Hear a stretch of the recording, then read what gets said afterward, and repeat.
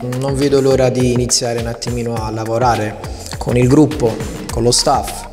Abbiamo poco tempo ma riusciremo a fare quello che dobbiamo fare. Ho avuto modo in questi due mesi di, di inattività di, di, consultare parecchio, di cercare di formarmi un attimino uh, sull'aspetto tattico, tecnico. Secondo me cambia poco, cambia molto poco. Uh, le ragazze sono ragazze professioniste, sono comunque pronte a lavorare in, in, qualsiasi modo. Io ho avuto modo pure di seguirle, hanno lavorato molto molto bene in questi mesi.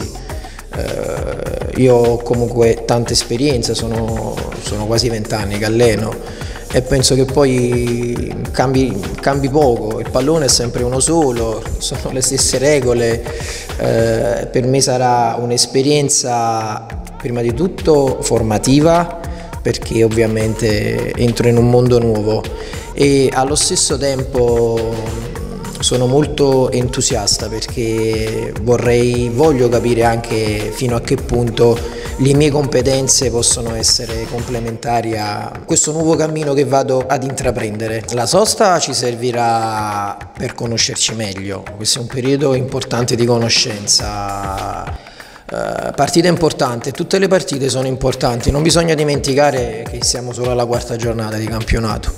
Uh, ogni partita uh, a questi livelli è molto molto complicata, le ragazze sono pronte, come ho detto prima hanno lavorato benissimo in questi due mesi, io continuerò a farlo, cercheremo di fare qualcosa di diverso ma no, non inventandoci niente. Sappiamo che eh, la Sandoria è una squadra forte, sappiamo che il tecnico della Sandoria e il suo staff sono persone molto preparate, però lo siamo anche noi, noi dobbiamo, dobbiamo avere rispetto di tutti eh, ma non dobbiamo avere paura di nessuno, poi in queste partite le ragazze già, già l'hanno fatto capire, hanno fatto delle ottime prove e dobbiamo continuare a fare quello che stavamo facendo, magari cercando di raccogliere qualche punto in più.